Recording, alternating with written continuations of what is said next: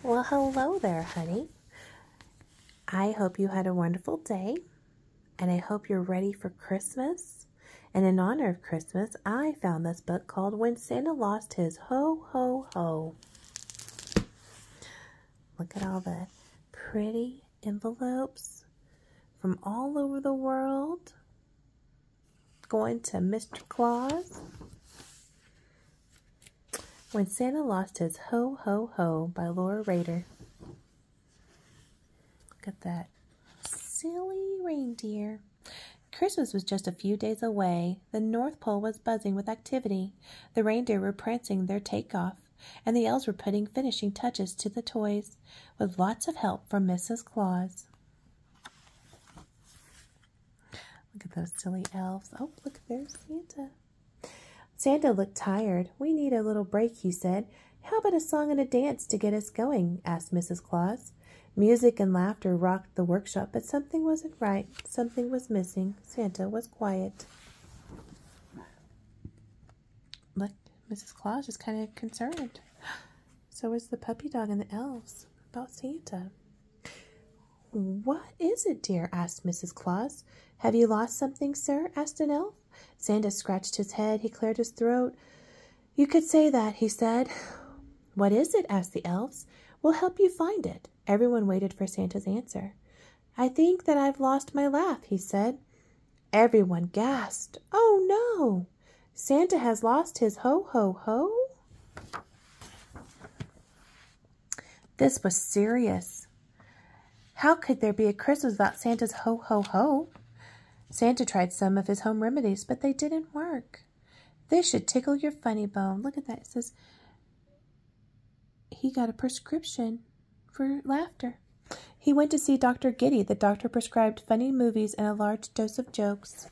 Oh, look, there's the elves. Everyone was eager to help. Look at the animals. But the best Santa could manage was a ha ha, a weak yippee, and a faint Yeehaw, but no ho ho ho. Look at that. The local paper broke the news. Reporters and photographs gathered outside Santa's workshop. Santa lost his ho ho ho. Have you heard my laugh? Rewards for return. The story was big. Around the world, people heard the news. Look at all the people. Oh no, they're all worried. Can't be true. Back at the North Pole, the elves and Mrs. Claus kept trying to say, help Santa find his ho ho ho, but nothing worked. The reindeer even offered a surefire remedy, cocoa. Santa enjoyed it, but his laugh was a no show. Look at all the letters. Oh my goodness, there's so many letters. Santa decided to check his mail. He's always read every single letter himself, but he's been so busy trying to find his ho ho ho that the mail really piled up. Mrs. Claus noticed that Santa had looked tired and every bit cranky. Mr. Claus, she said, please go take a nap. We'll organize your mail. Now scoot. Well, maybe just a few winks, Santa said. Look at Santa. Santa settled in for a short winter's nap. Mrs. Claus and the elves got busy. They opened the mail. They sorted all and put in a neat stack. Look at all these wonderful letters, said Mrs. Claus, and some of these unusual gifts. It's a pasta Santa. Look at the drawings. Mrs. Claus held up the drawings from the girl named Holly. Look at this one, she exclaimed. The elves and Mrs. Claus laughed until they cried. I have an idea said Mrs. Claus. Gather the letters and follow me to the workshop. Look, they're all so excited. they took all the letters, even the reindeer carrying letters. We'll have lots of room up here, Mrs. Claus told the elves, but hurry, Santa will be awake soon. Look, there's Santa coming down the stairs. Santa woke up from his nap not feeling much better. There, there's still no sign of his ho, ho, ho. He heard giggles coming from the kitchen. Sounds like everyone's having fun, said Santa. I'll join you after I read some letters. Your mail is in the workshop, dear, said Mrs. Claus, so you can sit in your favorite chair. When you read, said the postmaster elf. Great idea, said Santa. Look, there they all eating cookies. Santa headed to the workshop. The elves and Mrs. Claus waited by the kitchen window. They watched and they listened. One minute passed, then two.